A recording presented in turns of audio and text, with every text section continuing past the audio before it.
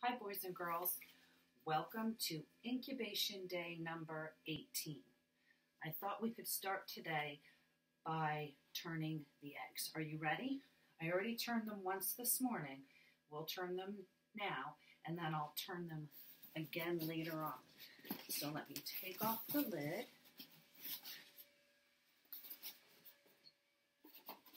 And here's egg number one.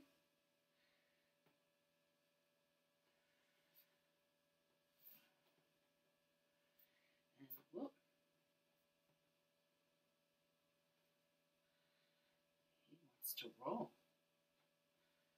Okay, and here's egg number two. And here's egg number three.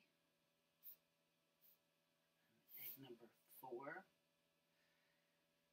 And egg number five. Egg number six. Egg number seven.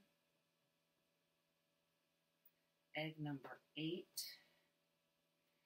Egg number nine. Egg number ten egg number 11, egg number 12. Okay.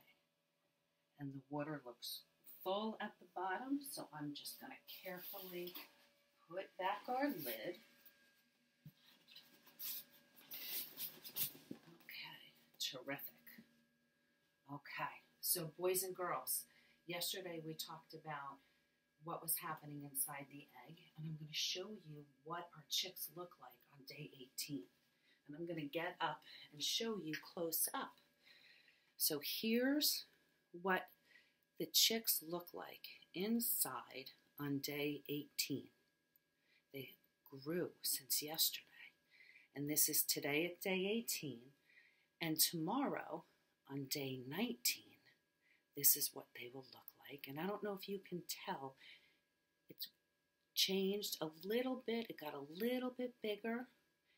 And then if this will be tomorrow, day 19, this is what the chick will look like on day 20. And it's amazing how quickly they grow. Very amazing. Now, the reason I showed you what they're going to look like tomorrow and on Sunday is because tomorrow and Sunday I will not be posting videos because after I turn them today, I can no longer turn the eggs. I can no longer open up the incubator. They're going to take the next two days to get ready to hatch.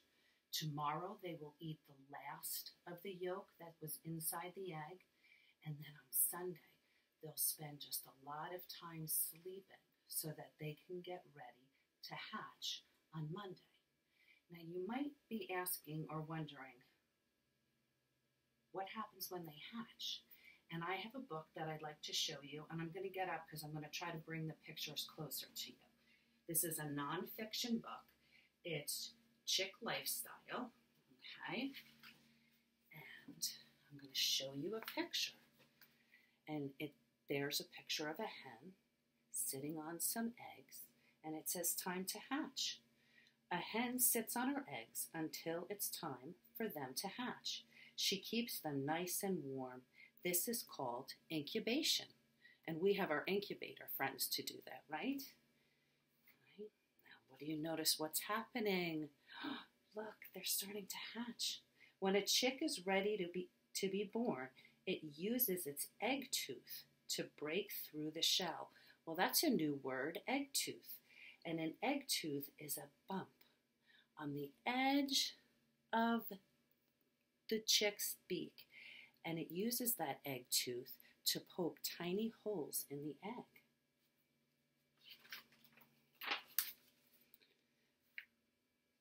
Peck, peck, peck. The chick pecks small holes around the egg.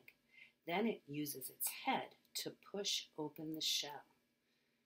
And an interesting fact is chicken eggs can either be white or brown, and we have a bunch of brown ones, a dozen brown ones, right? And the chick keeps pecking and pushing, and at last the tired chick is out of its egg.